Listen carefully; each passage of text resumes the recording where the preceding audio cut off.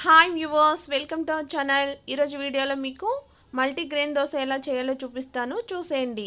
Multigrain దోశలో proteins ఎక్కువ ఉంటాయండి. దీనివల్ల మనకి వ్యాధి నిరోధక శక్తి పెరుగుతుంది. ఎక్కువ ప్రోటీన్ ఫుడ్ తీసుకోవడం వలన హెల్తీగా ఉండొచ్చు. కాబట్టి మీరు కూడా ట్రై చేసి చూడండి. దీనికోసం ముందుగా మినపప్పు ఇంకా నేను శనగలు తీసుకున్నానండి. దీన్ని టూ గ్లాసెస్ మినపప్పు తీసుకుంటే వన్ గ్లాస్ శనగలు తీసుకుని ఎయిట్ అవర్స్ నానబెట్టుకోవాలండి. నానబెట్టుకున్న తర్వాత నీట్గా క్లీన్ చేసుకుని బాగా గ్రైండ్ చేసుకోవాలి. అలానే దోశలు రావడానికి మనం ఒక్క గ్లాస్ బియ్య పిండిని వేసుకోవాలండి. దీనిలో ఎక్కువ పర్సెంట్ ప్రోటీన్స్ ఉంటాయి.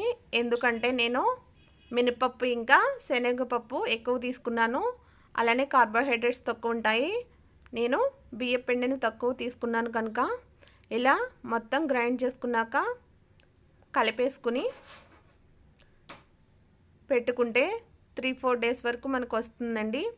అలానే దీనిలోనికి చట్నీ కూడా చేసుకోవాలి. దాన్ని కూడా నేను పల్లీలతో చేశాను.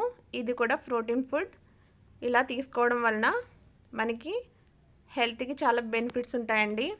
పల్లీలు ఇంకా మిర్చి బాగా వేయించుకున్న తర్వాత మిక్సీ పట్టేసుకోవాలండి.